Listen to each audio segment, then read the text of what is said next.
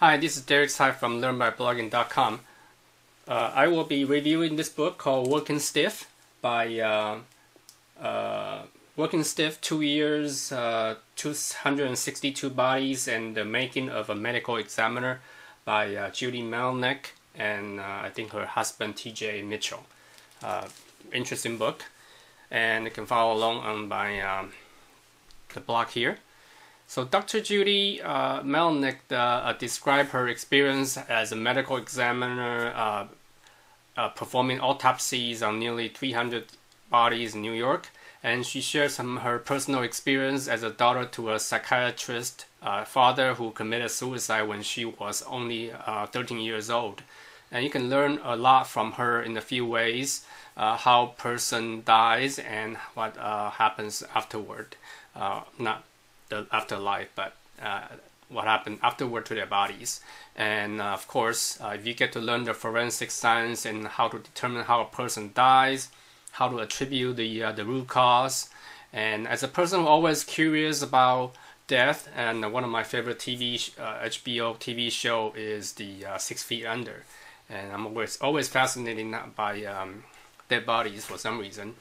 I know it sounds kind of morbid, but it's a very fascinating read if you're interested in that sort of things. Uh, the main reason Dr. Melinek um, decided to switch from being a surgeon to a forensic pathologist or the medical examiner uh, was to leave the uh, 330 hour uh, work week, which may result in hurting her patients because you know they wrote the wrong prescription, so she couldn't do anymore. Um, she decided to um, to become a medical examiner and went back to school and and and um, and change her um, um, major. So um, then uh, th- this is a little bit my takeaway on the um, on the book. Uh, called decoms, uh, decomposition of human bodies when a body dies. Uh, this is how they coin the term, and um, the blow up of the skin due to bacteria, the maggots, and etc., really uh, challenge a medical examiner in finding the, uh, the root, the cause of the death. Um, Dr. Melinek uh, examined many suicide cases, kind of uh, hit really hit home, and having experienced her uh, father's suicide, it gets very personal for her. I think she is really the right um, person speaking for, for the dead person, and um, but she was willing to talk about it and confronting it uh, confronting it, uh, which is in a way very therapeutic for her, I'm pretty sure.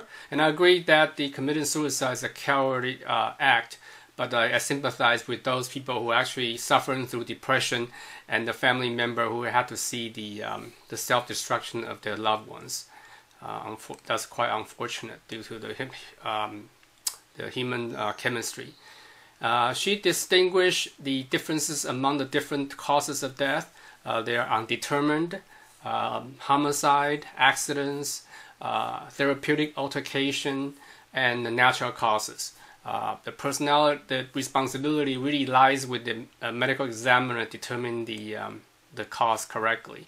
Uh, if it's homicide, it actually need to be going to uh, the detective need to take on the case, and the rest of the time they just kind of you know, die with the, the, the patient or the the bodies.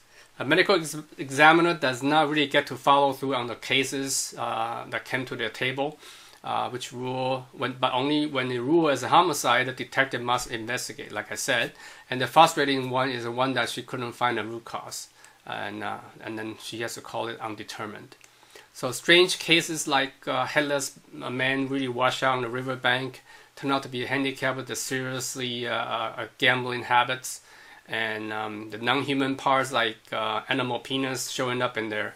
Um, uh, people bring to the medical examiner for ID.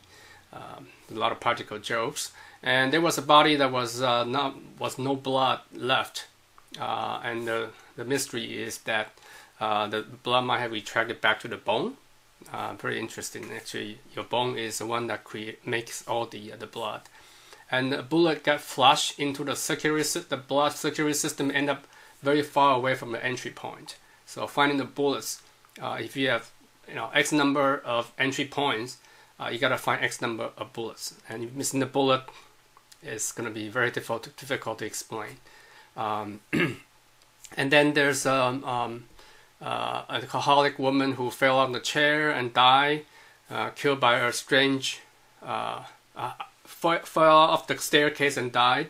Uh, it turns out very likely is killed by her uh, strange, strange husband um, in the in the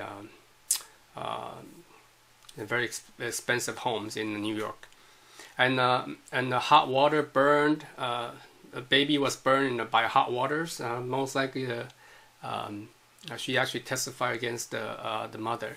And the strange uh, TRALI case. The TRALI case is a antibody reaction to a blood transfusion, as was mistaken as a um, a drug junkie case, um, because uh, um, a lot of the um, the detection, uh, the the blood test, uh, urine test is not very accurate.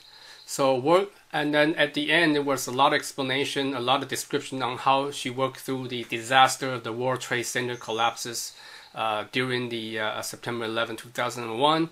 And Melinek has a first-hand knowledge of the human tragedy, the experience working through identifying the body parts for for the living who, who remains, uh, mostly doing for the uh, uh, the relatives and the friends. Uh, the gruesome scenes that she describes really make a deep impression on me. Uh, people don't understand um, what really happened uh, afterward uh, in the World Trade Center. And the, uh, the charred, the decomposed body parts that had to be identified. Uh, they, they have to identify for almost 1,400 people out of nearly 3,000 casualties.